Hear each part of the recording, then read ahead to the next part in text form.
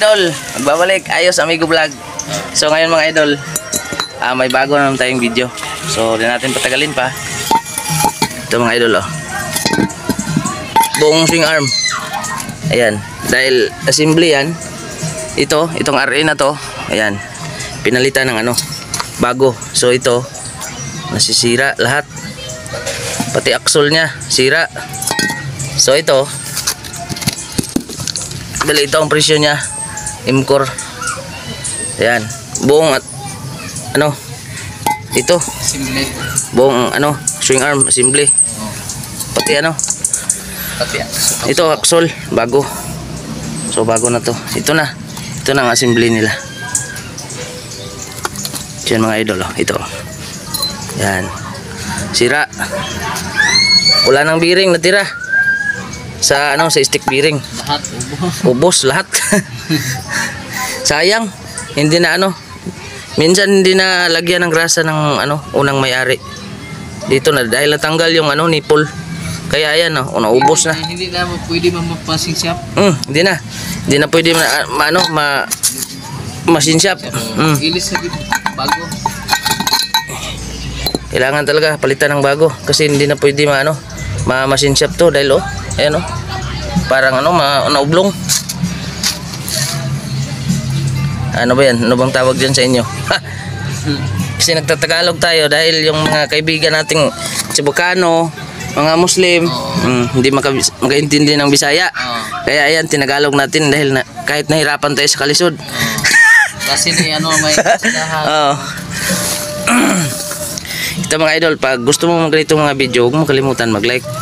Ah, i-subscribe na rin pati yung YouTube channel ko at saka notification bell para updated kayo sa mga videos na ina-upload ko. So yan.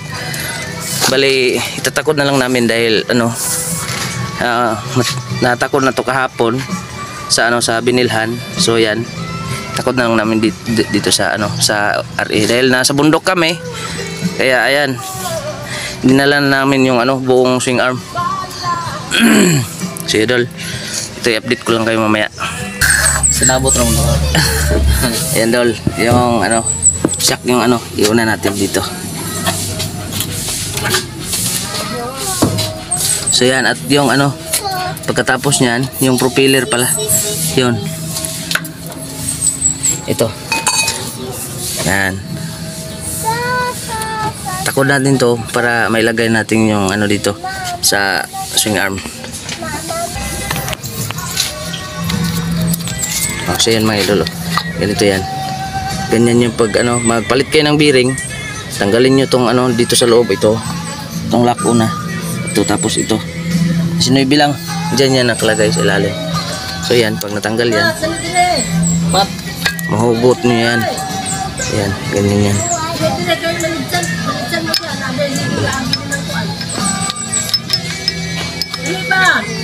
Pat.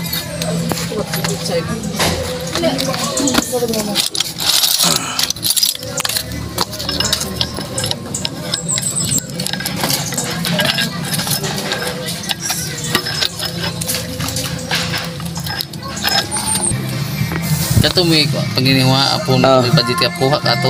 So yan mga dulo. Yan o, nakikabit na namin yung ano, tornilyo niya sa axle. So, lagay natin yung ano lock. Yan. May lock yan dyan. Kailangan mga dula, nakataob to. Hindi hindi nakaganyan. Nakataob, ayan.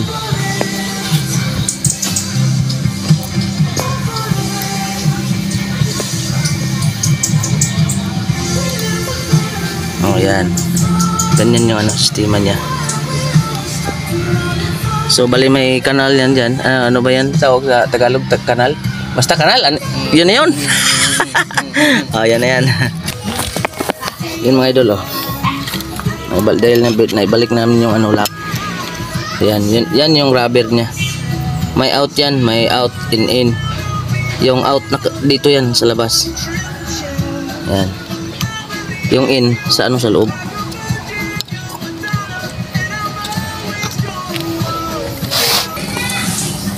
So yun dolo, ayan. Ah, bali na ikabit na namin. So yan. yan, siya, yan na yan. Oh. Nakabit na namin siya dol. So yan. Yung swing arm na lang, ibabalik namin. Ah, yung ano, ihi ng ano swing arm ito. Ito na lang yung ibalik namin dito. So dito, tapos na. So, ayan o. Okay na.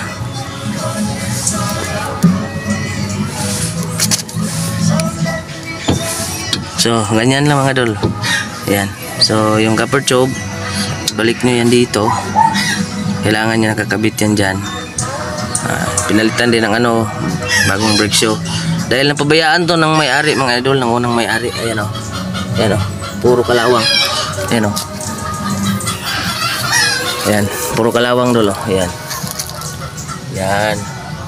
Puro kalawang. Ayan. Dahil na pinabayaan ng unang may-ari. Ayan o. Sayang. Mahal pa naman ang RE ngayon. Ayan o. Pinabayaan mga idol. Kaya nasira yung ano, oh. nasira yung ano. Kaya pinabayaan ng ano, may-ari. So yan mga idol, oh. okay na. Ah, lahat na ikabit na namin. So yan sa ano Okay na. Bali, drum na lang eh. Babalik natin dito. Yung pugasan na natin yung drum. Tsaka ibalik natin dyan. Para okay na. Okay na siya.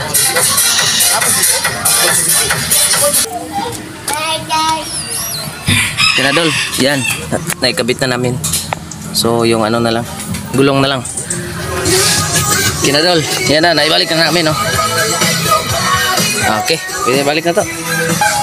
Ito mga dol, oh. tanggalin muna natin dahil na-stuck na to. Pinabayaan na ng unang may-ari. So, yan. Kailangan natin i-check muna mga lahat ng brake para kapit siya dahil disgrasya tayo dyan pag ano yung brake na ang pumapaltos